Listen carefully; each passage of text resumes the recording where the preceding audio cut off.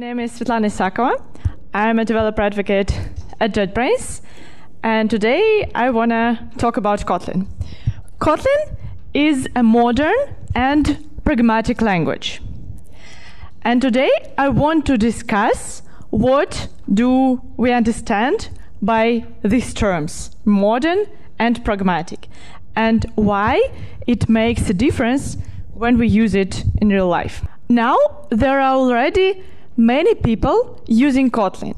More than 2 million developers already use Kotlin for their projects. Kotlin started at 2010 and uh, it took it six years to reach its first stable release. It's a lot of time, so many concepts were battle tested, were tried in real life to see what works, what doesn't work. And in the end, we have really pragmatic, good result. And Google acknowledged Kotlin as a first class citizen on Android, which boosted their adoption of Kotlin.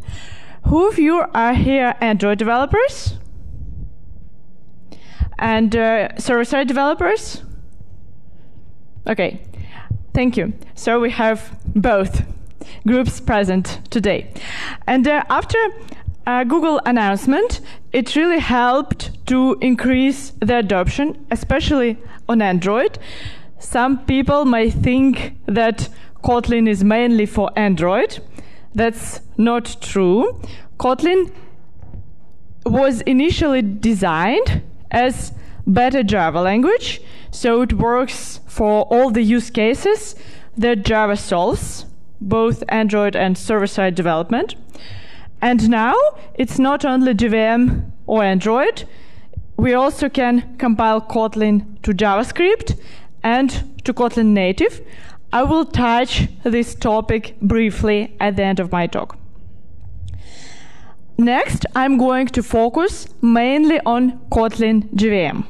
So now we're going to mainly talk about Kotlin and compare it with Java. So Kotlin tries to be really pragmatic language, practical langu- language, good for real life tasks, not some language from academia, from research, just uses features and functionality that work good in real life. For us, that means two major things. First, it has really good tooling support.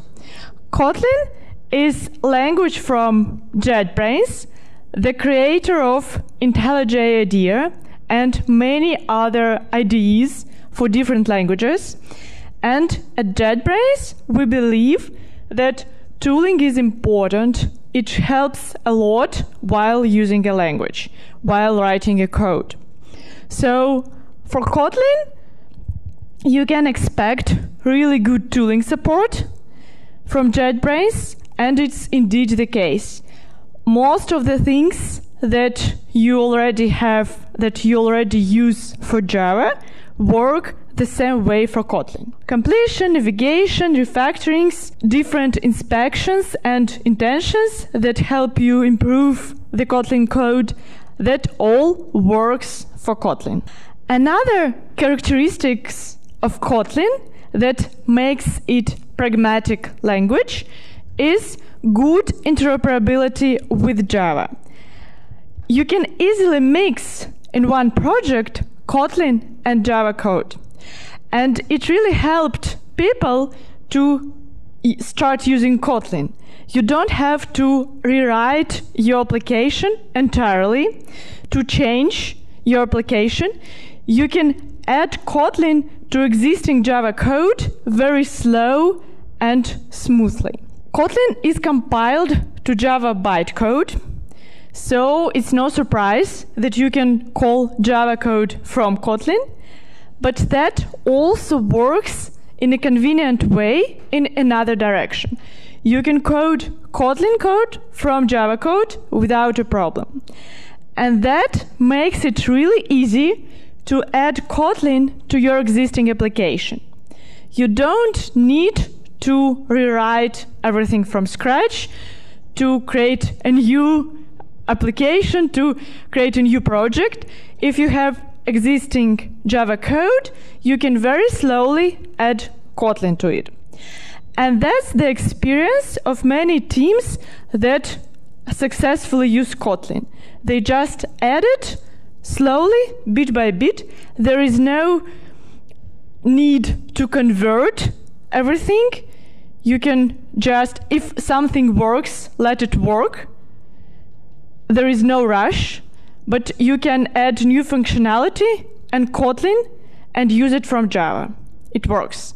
And that is really important benefit of Kotlin for Java developers, for those who are consider migration, it costs almost nothing to migrate and to add new stuff in Kotlin. This way, people from the team can very slowly get used to a new language. Another important aspect of Kotlin is it it's being a modern language. What do I mean by this? Mostly I here compare it with Java and with some other modern languages like Swift. So compare, compare, in comparison with Java, we can say that Kotlin is a modern language. It means three things for me. It's concise, safe, and expressive. And now I want to highlight different features of the language to illustrate these three points, these three ideas. At first, concise. Why do we need a language to be concise? Because we spend much more time actually reading the code rather than writing the code. If you need to fix some problem in the application, you spend a lot of time trying to find the exact place where the problem occurs trying to understand the code written by someone else.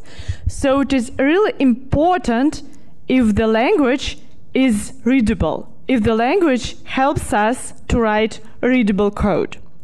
And Kotlin is good at it. Classical introduction to Kotlin example. This is Java class that just stores the data. There is no logic. However, in Java, you have to write a lot of code to express this simple idea. There is class, two fields, constructor, two getters. Hope that you generate this code, not write it by hand. But still, when you read it, you have to cope with verbosity, with excessive syntax. And in Kotlin, you can do better.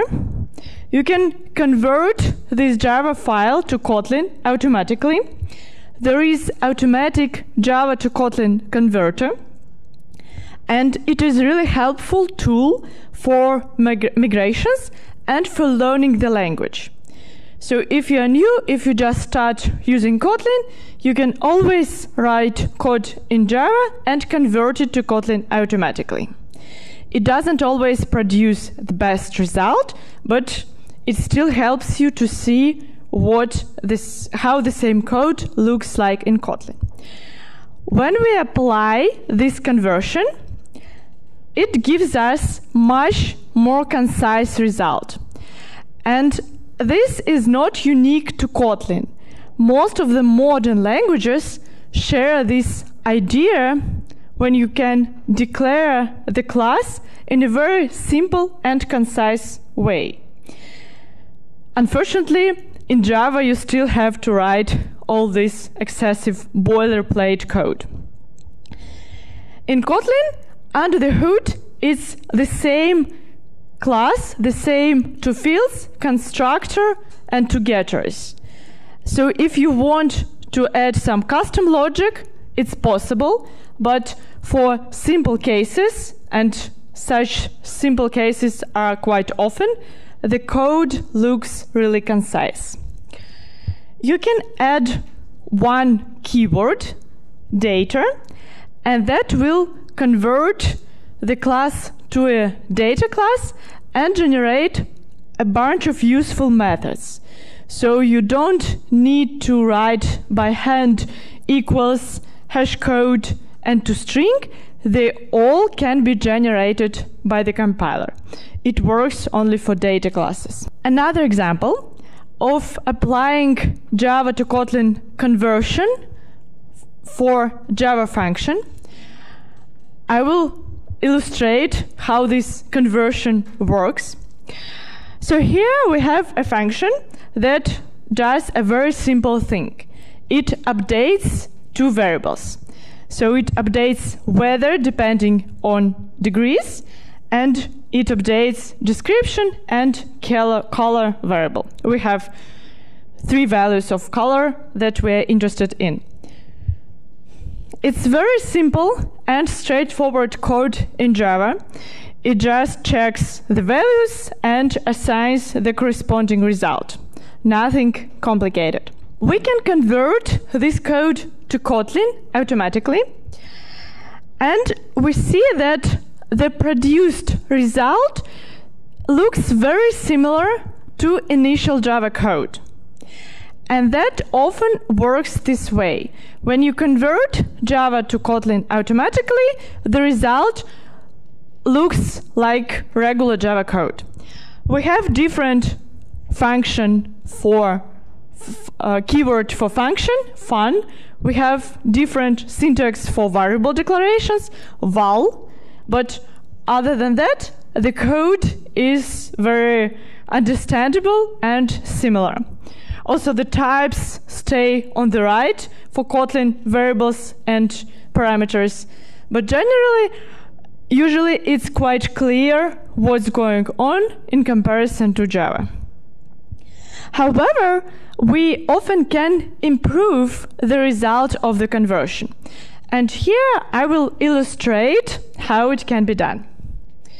At first, we can replace the repetitive variable name. So here we have to duplicate the variable name four times. In Kotlin, we can just assign the result of pair to two variables immediately. There's a small change, however, it slightly improves readability because now the result is shorter. The next simplification that I can do is connected with the types. Kotlin is a statically typed language. That means every expression, every variable has the type. However, the types can be inferred by the compiler. So here, the types are clear from the context and we can omit them. The compiler infers automatically that the type of description is string and the type of color is color. Next thing we can apply here is we can replace if expression with when expression. Here you see also another difference. In Kotlin, if returns the result of the expression, which you can assign to variable or to several variables. Now we replace if with when. We can do it automatically. And that's our result. It does the same thing as before, but it's a bit more concise syntax. When is analog of switch in Java, but is it is more powerful in Kotlin than in Java. So for instance here you use when without argument and it checks all the conditions. If the condition is satisfied, then it returns the corresponding result. If this next condition is satisfied, it returns the result. So that is the result of our conversion. You see that we applied several changes and the result looks mostly the same but a bit different. A bit shorter and when you get used to Kotlin, a bit more clear, a bit more concise. And this example, this small example, illustrates how conversion often works for Java code. So you have a Java class, you convert it, you somehow probably apply some improvements, and after that, your code now is more concise and is shorter. That often works with Java to Kotlin converter.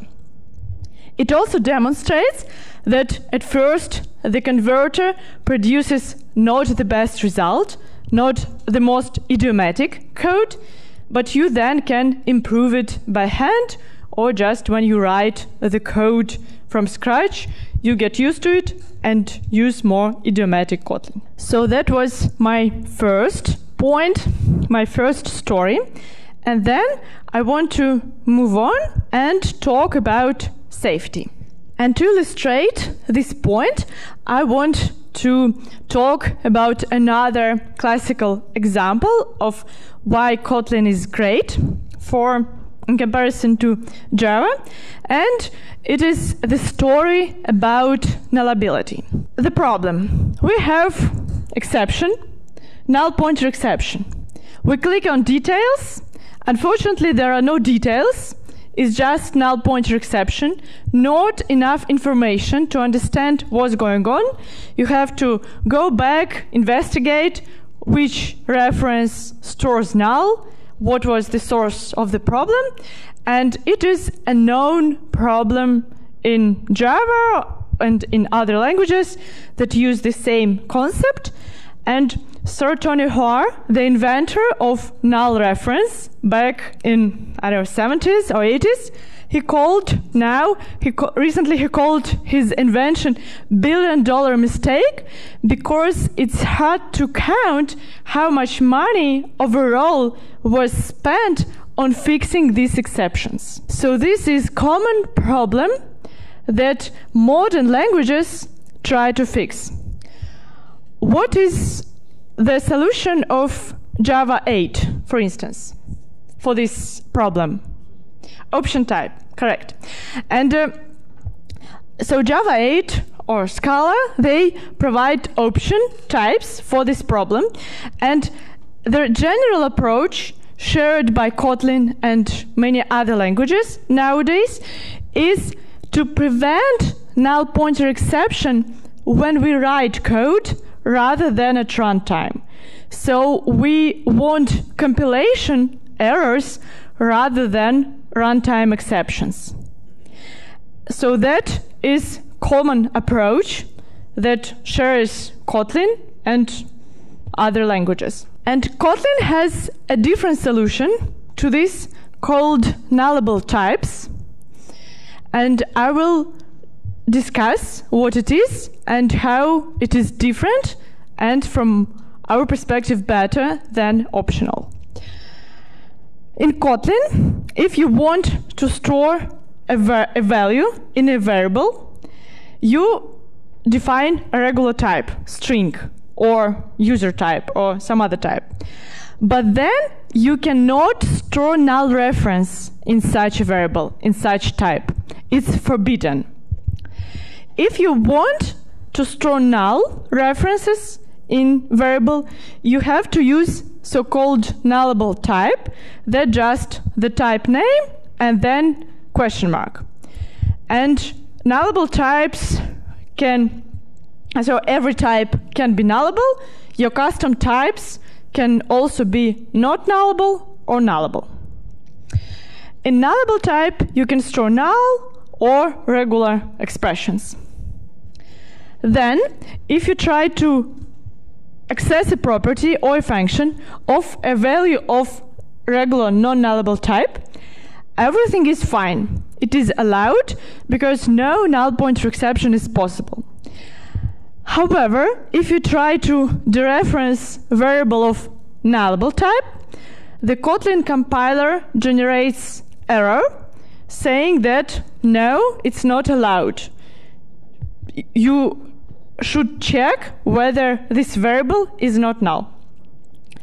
What you can do here? You can check explicitly that variable is not null, and if it is the case, the reference access the property or the function. Or you can do better. IntelliJ suggests you to replace this code automatically with so-called safe access expression. So the result looks like question mark dot. It's the way to access property or member function in a safe manner. It means exactly like this if. So it is equivalent code. Safe access returns the value if receiver string is not null and returns null if it's null. So it's a safe way to get nullable value as a result. Note that the type of the result will also be nullable since it can store null references inside. If you want to provide default value for the case when your expression is null, you can do it by using another so-called Elvis operator that says if the left expression is null, return this value. These safe access and Elvis operators are not the Kotlin invention. They were already present in Groovy before, and they were proven to be very useful. So that's something that is reused from other languages because it it's uh, the experience showed that these operators are really helpful when you write the code, and Kotlin just reuses them from experience, from other experience. If you want, you can throw null pointer exception explicit. For this, you use this two exclamation marks operator. That means throw null pointer exception if this variable is null. So here you can dereference it in this way. However, the recommended way to work with nullable types is to use safe operators. So very rarely, when the compiler is not smart enough to infer the type of the variable, you can use these exclamation marks. But in general, it's better to use safe operators to avoid the possibility, the avoid the problem of null pointer exception. So the recommended way is to use safe operators. Now, about the difference with option type. Nullable types under the hood are implemented using annotations. So they are just annotations on the types. And that means there is no performance overhead when using nullable types. At runtime, nullable string and string both are just one object, are just one string. There is no wrapper. In contrary, optional type is a wrapper. When you use optional, when you create an optional, you always create an extra object. You always allocate an extra object to store the value. With nullable types, it's not the case because they are just annotations under the hood. At runtime, there is no performance overhead. All the checks are going on at the compilation time. So that is important benefit of Kotlin annotations. You can ask what happens when you mix Kotlin and Java code. And the answer is that if you just use Java types, if you just call Java functions, then you still not uh, say from null pointer exceptions. Java types behaves like regular Java types. So at first we tried different approaches, but this one turned out to be the most pragmatic one. However, you can annotate your Java types specifying which type can store null references and which type can't store null references. And then Kotlin interprets the type accordingly. Also, we can pick up default. So you can say, in my Java code, all types are nullable. Or in my Java code base, all types by default are non-null. And then Kotlin will interpret, will work with them accordingly. So there is some, there are some ways how to cope with mixed Kotlin and Java projects, and you will find out that Kotlin generates, like if because of Java some null goes somewhere, then Kotlin throws clear messages what went wrong. So even if it runtime exception, it's an exception with clear message.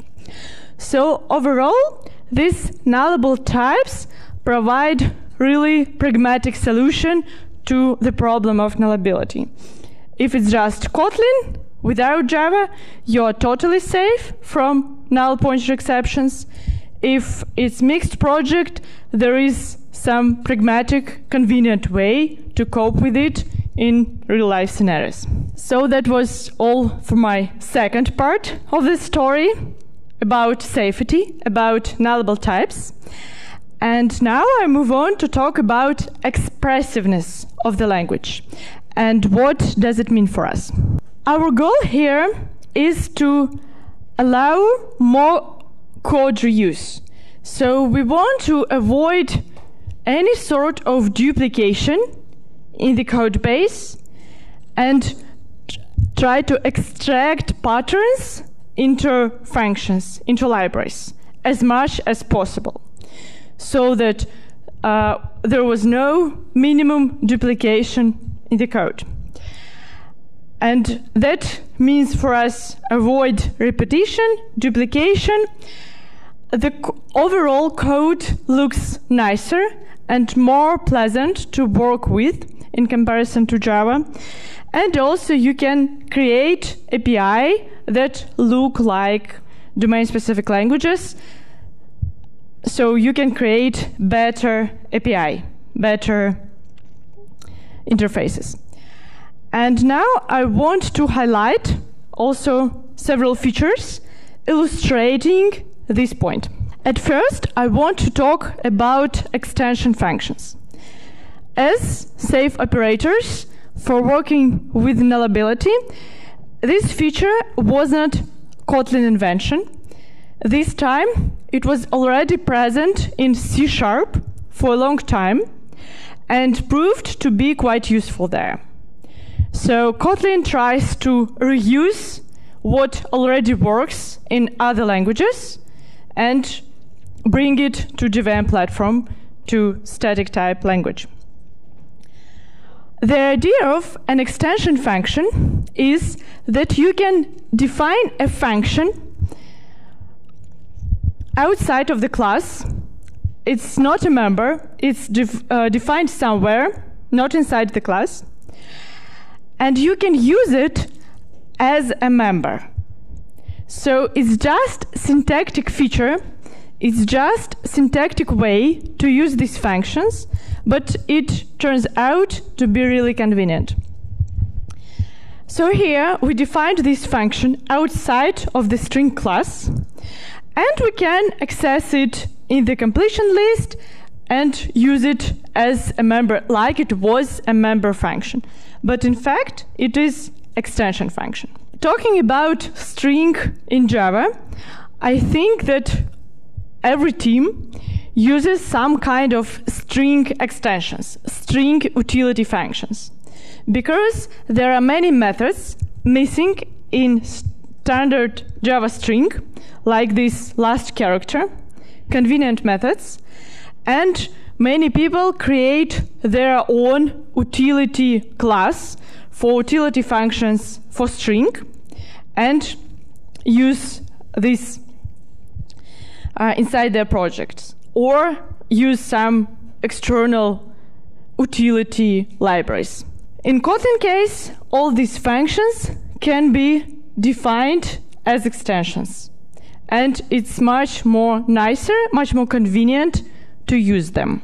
When you define an extension function, you can use this reference that refers to the receiver of this function. So string is the receiver, and you can use this receiver inside the string via this reference. As usual, for this reference, it can be emitted, and you can just access members of string without explicit specification. So again, it's very much syntactic feature. You just add additional extra parameter to your function, call it receiver, and access it inside via this reference, but it turns out to be really powerful and convenient feature.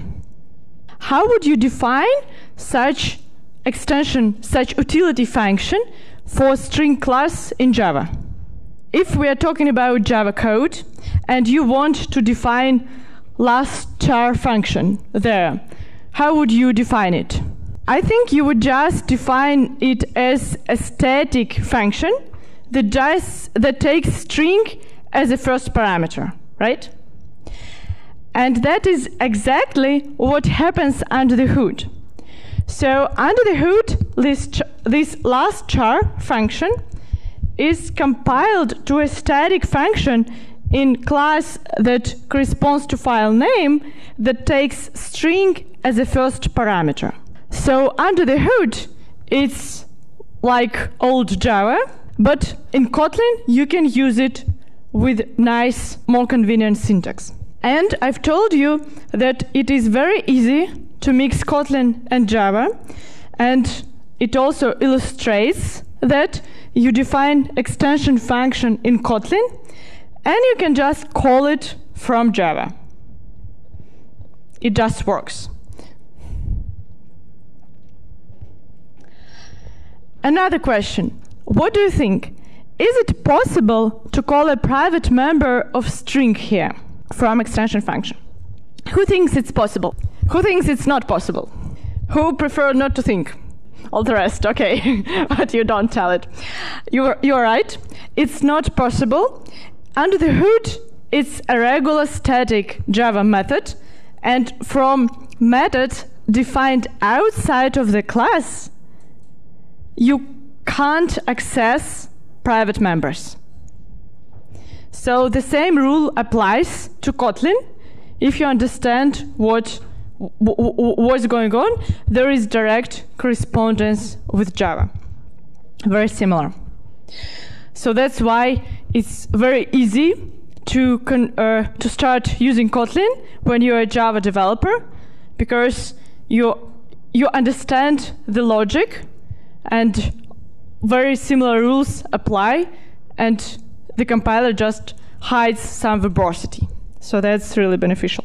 Another thing I want to mention is lambdas. I hope that you already use Java 8 and are familiar with lambdas. Are you familiar with lambdas? Yes, yes. So I won't introduce uh, this concept, just highlight that lambdas in Kotlin have a little bit different syntax. They are always put in curly braces, unlike Java. And to distinguish lambdas from regular curly braces in blocks, IntelliJ or Android Studio highlights lambda curly braces in bold. So if you see bold curly braces, that means lambda. Kotlin supports the same set of operators for working with collection in functional style, like for streams, stream API in Java 8. So here you can use filter, map functions that take lambda as argument and return this one filters the collection, map transforms the collection, and so on. I won't go deep into details here. That's just exactly the same concepts as in other languages. Here is the long form of lambda. Here I just use the short one, access lambda parameter using it variable. I just want to highlight that all these functions are defined as extensions. Kotlin does not re-implement standard library. Kotlin uses Java standard collection libraries like list, map, set. If you use list in Kotlin at runtime under the hood, it's just Java util list. Kotlin provides different views on it read-only and mutable list, but under the hood it's the same collections. And that also explains why so good why we have so good interoperability with Java. Because the collection interfaces are the same. You don't have to convert list to different list. They are the same interface, the same list under the hood. And all these operations are defined as extension functions on standard collections on standard Java collections. And that showcase why it was so beneficial for you for Android users before Java 8. So all these extensions worked starting from Java 6. Even before Stream API was introduced was possible for Java that that in Kotlin it worked for older versions of Java using extension methods. So Kotlin library is basically a set of extensions on standard Java collections. Kotlin library does not re-implement stand, uh, standard collections. It just uses Java once under the hood. Now I want to highlight another important feature, and that is very simple idea. We have extension function which we can look at as function with receiver. So it's just function with additional receiver. And we have the concept of lambdas. Now let's mix the two concepts and have lambda with receiver as a result. Let's discuss what this lambda with receiver is used for. I will start with a simple example. Here we have string builder. That's a typical Java code, code similar to Java. It's in, it's in Kotlin, but we can write the same in any language. We create string builder. We append some arguments to it, some strings, and we convert it to string as a result. You do it very often in Java. But we have this repetition. We have to repeat variable name for several times. It's not a big deal, especially in slides, when I have a very short name. In real life, I suppose it would be called string builder. And it's kind of verbosity. You have to, especially when you read the code, you, see all these repetitive variable name. And we know how to do better in modern languages. You can write something like this. You can use with variable name.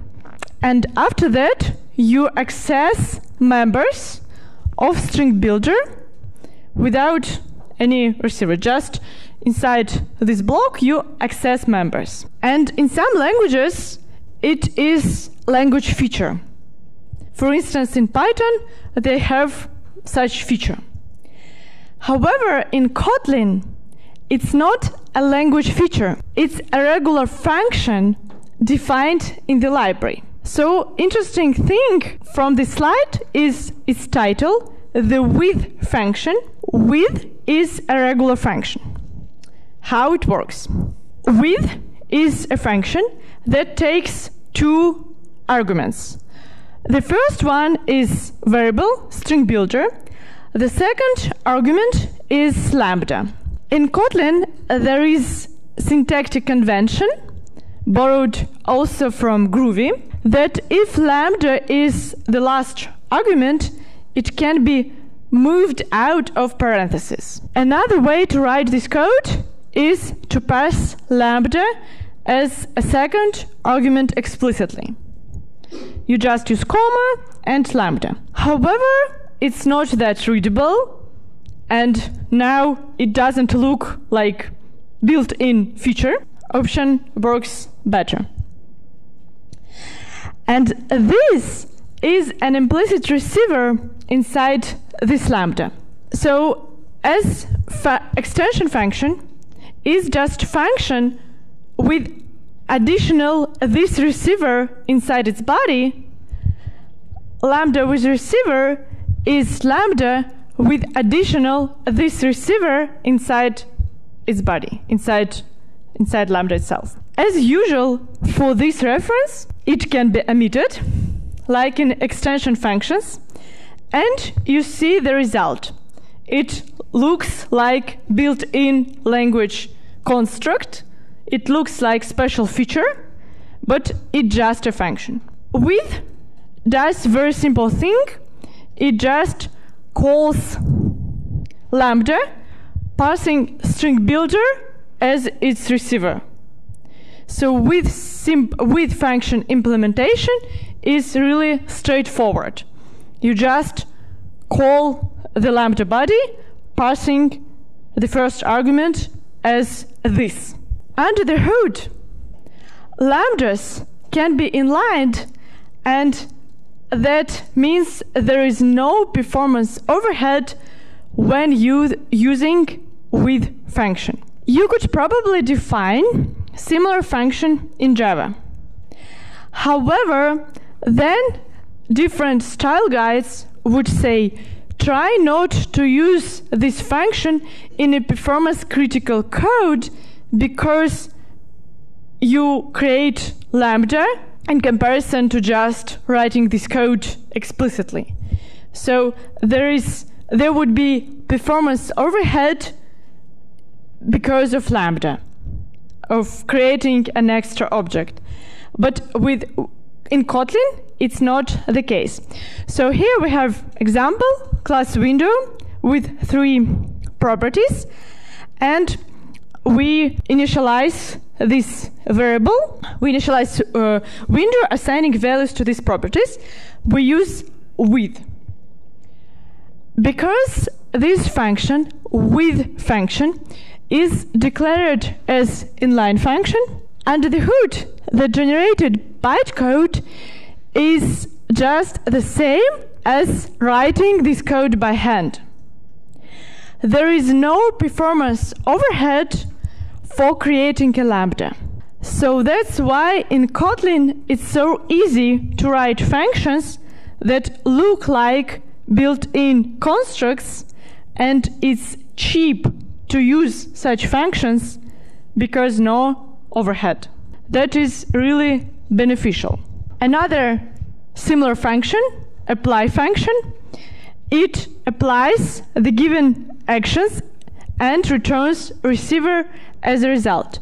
Apply is extension, so we call it on expression, we call it as, a, as an extension function.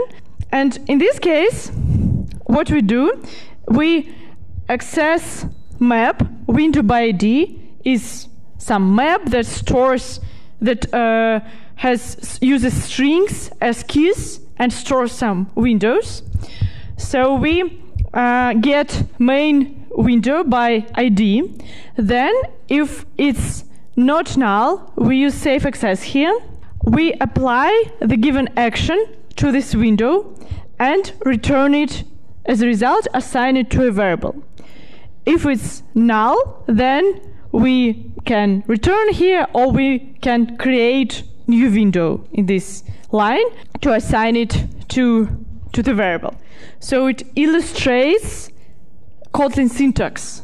It illustrates, you see, I use different functions, different features of Kotlin that we've covered. It showcases nullable types and this apply function, and it all makes Kotlin code more readable and more concise and more expressive. Now, a couple of words about domain-specific languages.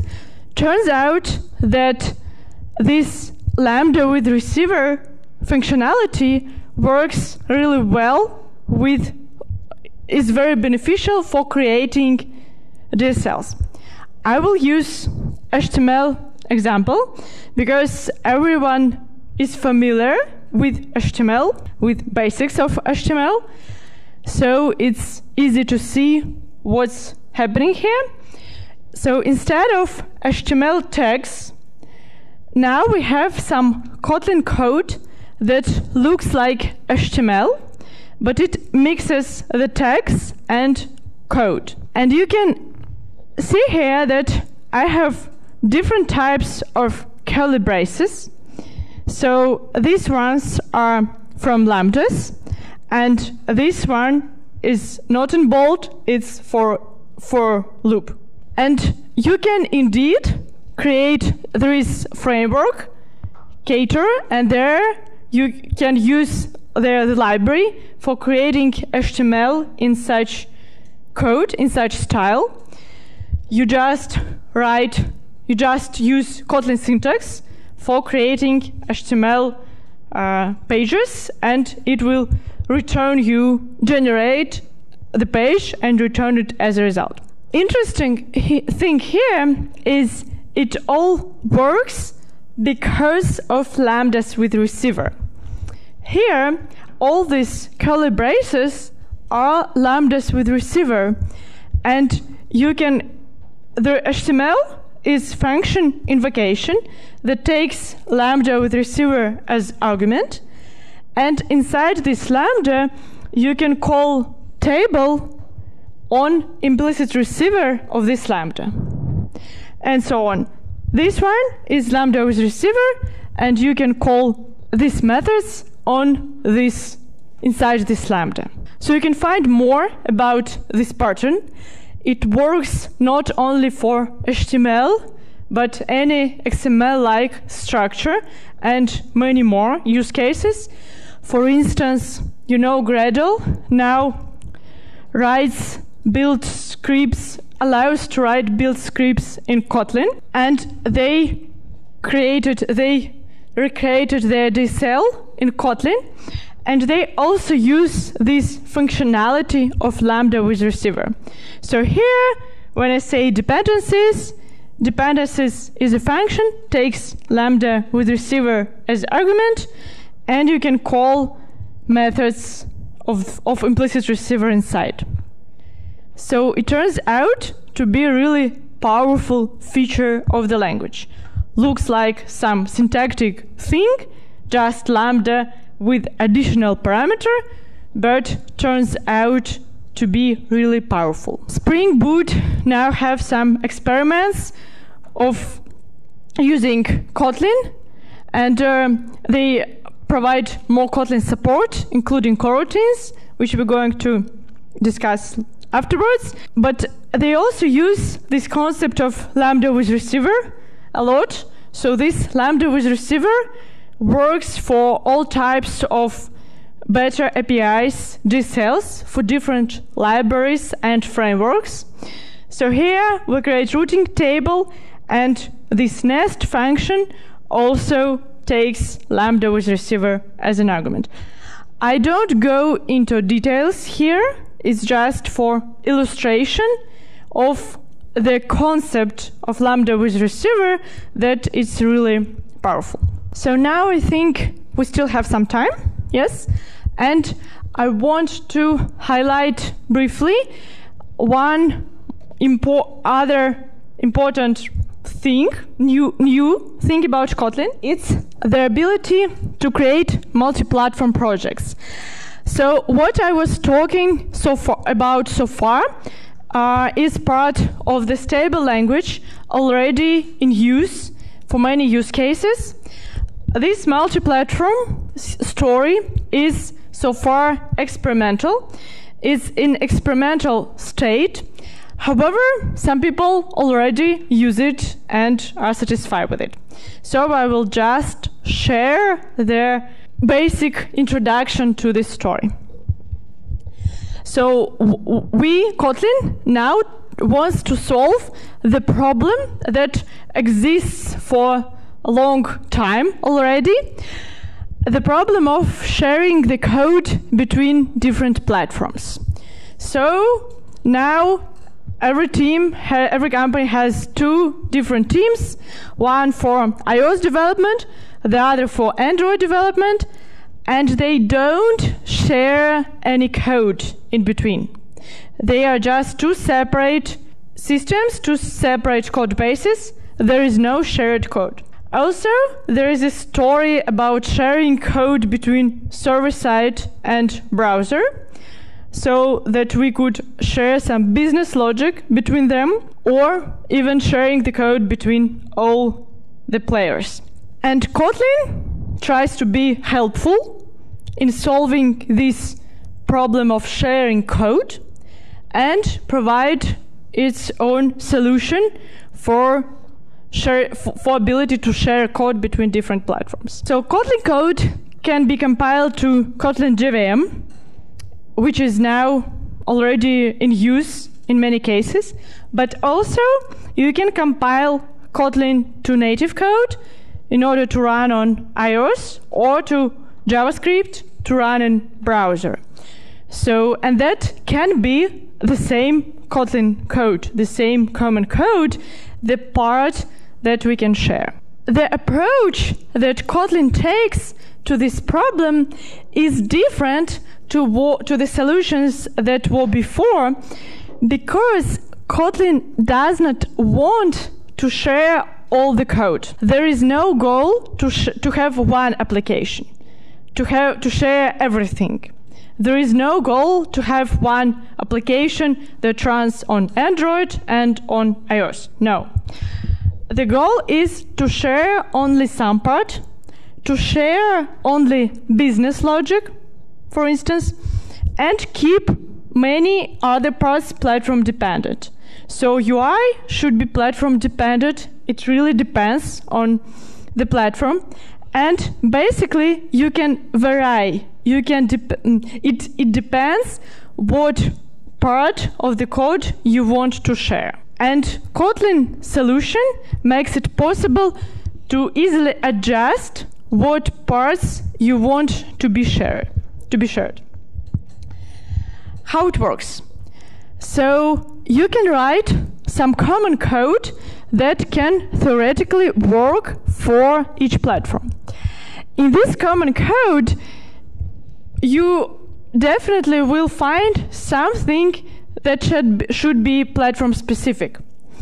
And for that, you can define expect declarations in the common code, just declarations, and provide different implementations, actual implementations on different platforms. For example, we have, let's say we define function measure time and we provide only its declaration mark, marked with expect.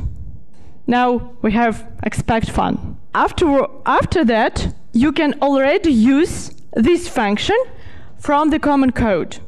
You only provided declaration, but you already use this function when you write your, your shared business logic. And then to be able to compile common code for different platforms, you will need to provide different implementations on these functions depending on the platform. So for Kotlin JVM, it, our measure time function might use system nano time. For Android, it might be different measuring. For native, it will be something else. And for JavaScript, it will be some JavaScript specific API. So that's how you can share some logic, but be able to easily adjust what depends on the platform. And this way, you can easily move from platform independent code. You find something that depends on the platform, you extract it into this expect function and provide different actual implementations. So this is quite customizable solution. that quite powerful with which you can easily change which parts you want to share and which parts you don't want to share. So when you write such common code, it uses the standard library. It can use the standard library. The standard library is already uh, is already multi-platform library. It can be compiled to different platforms. So we have implementations for JavaScript and for native. You can define expect declarations and use them. And you can use, from common code, you can use other multi-platform libraries.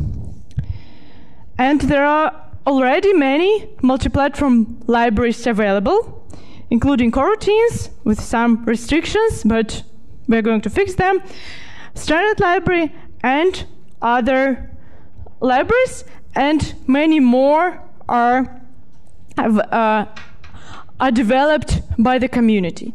So we hope that many more libraries will be available.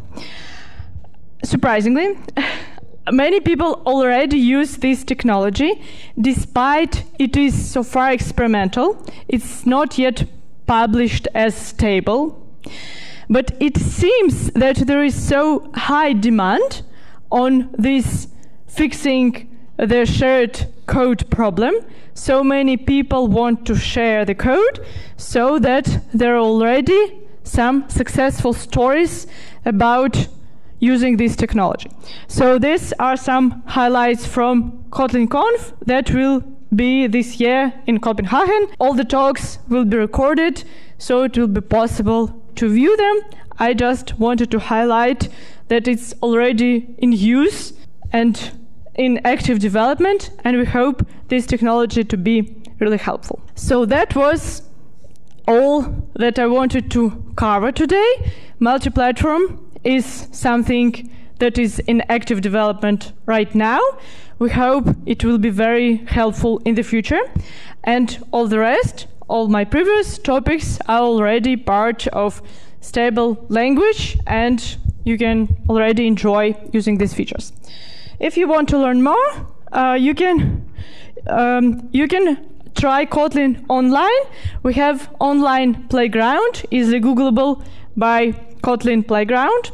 There is a Koans set, set of tasks to uh, become familiar with the Kotlin syntax. Also, as kind of advertisement, can mention Kotlin Action book that uh, is targeted at Java developers. So it highlights, it describes Kotlin from the perspective of Java developer. Also, there is another book we're currently working on together with Bruce Eckel, and this one is targeted as people who are not familiar with Java. So it learns, it, uh, it helps to learn Kotlin from scratch. If you're already experienced developers, probably that's not for you, but for some people who join the team and need to learn Kotlin very fast, it can be recommended. Also, there is Kotlin course at Coursera if you prefer video course. However, it's in English and I speak even more faster there. So it I don't know how easy it is to watch, but it has subtitles. So there is uh, there is the benefit. You can watch subtitles, and the content is available for free if you find like Coursera wants by default everyone to pay, but you can access videos for free if you just find the audit option. It calls audit, and you can just watch the videos and check, for instance, only the topics you're interested in. The stuff I've covered today it's all covered in more details in this course using basically the same slides. So you can watch and say, oh yeah, I remember, I've already know it. I, am just very beginner to Kotlin. I am, as a backend developer, I, my concern is that um, is there any performance sacrifice, sacri, uh, sacrifice, sacrifice uh, versus uh, Java. So when uh, benchmark report Ah, in terms of performance, I think the performance of the resulting uh, bytecode is the same Yeah. because the bytecode is very similar to to Java. Okay. And um in terms of compilation time, I think some people uh, complain about compilation time of uh, Kotlin code in comparison to Java code, but that's what we are working on. So it's. Uh, it, I'm, I don't know the exact benchmarks. It might be a bit slower, like I don't know, 10% slower or something. So not not that noticeable. Mm, however, we are working on it. On it. Yeah, but in terms of performance of resulting application, it's uh, the same.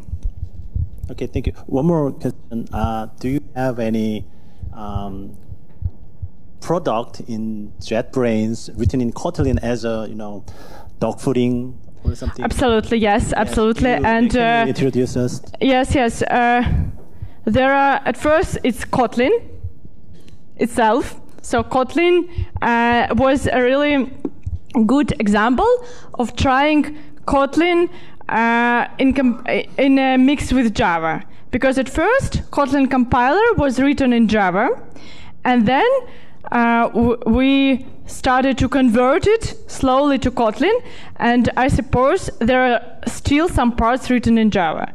So there was never a goal to convert it fully, but rather use a test environment for this compatibility story. There are some parts of IntelliJ IDEA written in Kotlin, some new parts, but since the IntelliJ code base is huge, it's small percent, but because new features, some of new features are added in Kotlin. So again, some interoperability story. And also there are other secret projects of JetBrains that are written in Kotlin, and uh, th- they use actually this uh, JavaScript and multi-platform story and some frameworks. So it, it is used inside JetBrains. I'm an Android developer, and we have Kotlin project.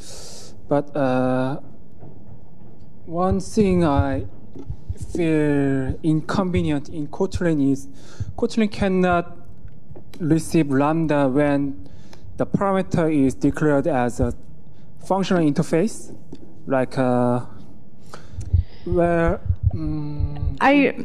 This is it's important feature request. We are aware about it. No promises, but there are some plans to fix it. No promise which version it will be supported and how, but we are aware of. The, I, I understand that you're talking about SAM conversions for Kotlin interfaces. Uh, SAM conversions for Java interface work.